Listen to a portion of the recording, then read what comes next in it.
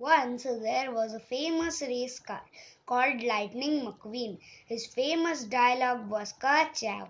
One night McQueen was traveling by his personal truck to California. Some other cars were also traveling. One car was playing a silent music in front of the McQueen's truck. The truck was tired by traveling. He slept and got off from highway. McQueen, the famous race car, also fell down from the truck. He tried to stop the truck, but because of heavy traffic, he lost him. Tired McQueen took a small turn away from highway and slept. When he woke up next day, he was in a beautiful small town. He was roaming here and there.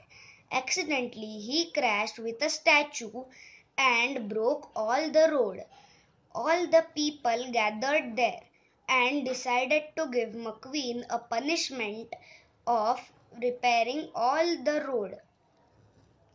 Mater, the tow truck, helped him in this punishment.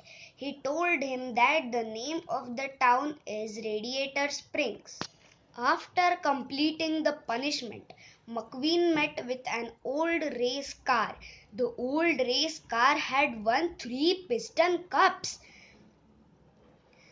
When McQueen completed the punishment and went for California to race. And guess who was his crew chief? Yes, it was the same old race car, the fabulous Hudson Hornet. Using Hudson Hornet's racing tricks, McQueen won the race. And McQueen was the first rookie who won the Piston Cup. Thank you.